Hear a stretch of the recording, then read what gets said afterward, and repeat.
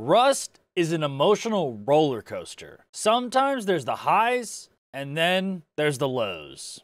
Running back from a long roam, I had no food, no water, and a full inventory. On my way home, I found a water catcher, but I let my guard down. And in Rust, you should never let your guard down.